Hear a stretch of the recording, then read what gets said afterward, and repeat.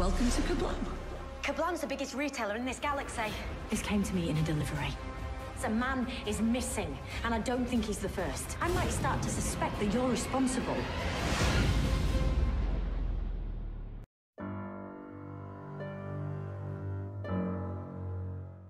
Hello, welcome to SL Productions and my review to Doctor Who Series 11, Episode 7, Kerblam. Now, this episode just aired on BBC One and BBC One HD, and in my opinion, is one of the best episodes in the series so far. I didn't think it was going to be one of my favourite episodes. However, once I watched it, I realised how good the plot was, and I just really enjoyed this episode. It felt very enjoyable, this episode. So, yes, what was the plot of this episode? So, yeah, the episode opens in the TARDIS, and the Doctor receives fares from this online retailer called Kerblam, which is basically the Amazon version of space. Basically, it's the space version of Amazon. So the Doctor receives these fares. However, on the little card it says "Help me," and this "Help me" thing was sent by the system because someone in Kerblam was plotting to send all this explosive bubble wrapped loads of customers to give robots a bad name, as only ten percent of people in the world, well, in the planet which Kerblam was near had jobs. So yeah, basically this guy wanted to give robots a bad name so workers had better rights. So yeah, that was basically the general plot of this episode. The Doctor and her companions go undercover in this massive warehouse retailer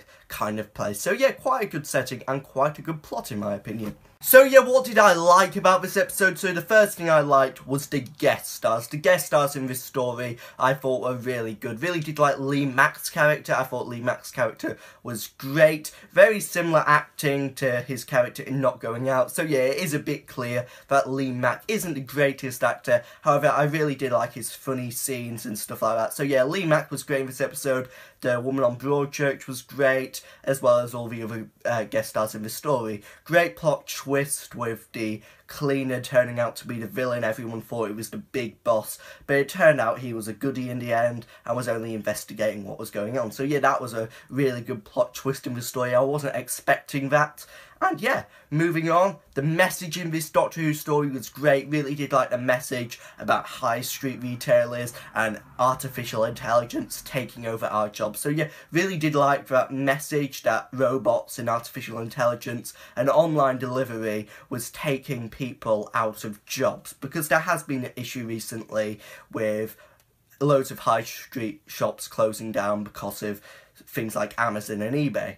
So yeah, that was a great message in this story. And also the setting, I really did like the setting. I thought it was a really cool and different setting. Being set on this massive warehouse planet kind of thing, I thought that setting was great. So yeah, really did like the setting in this story as well. But what did I not like about this episode?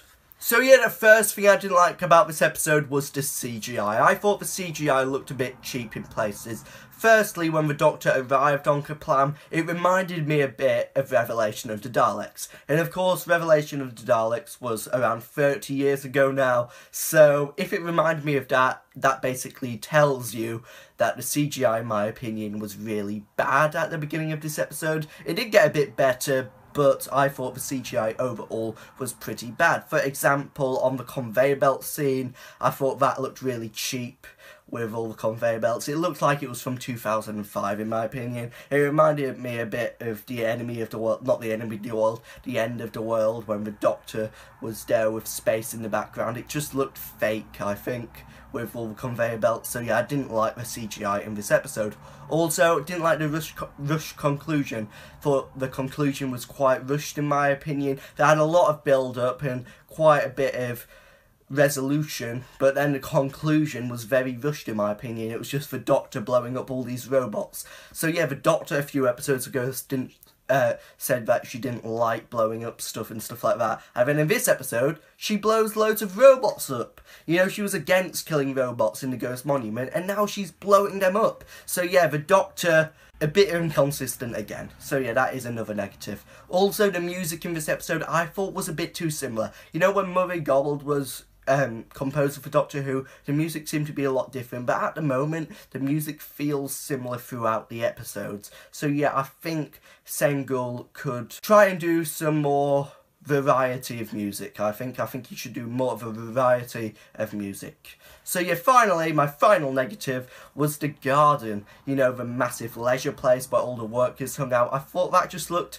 a bit weird in my opinion. It just didn't look right. I don't know why. It just didn't look right. So yes, Top 50 YouTubers 2018 Part 3. Where is that? I have filmed it but I'm uploading it tomorrow as I haven't had time to edit it. I've had a really busy weekend, so yes, it will be out tomorrow and my episode preview for episode 8 will be out on Tuesday. So yes, until the next time, goodbye.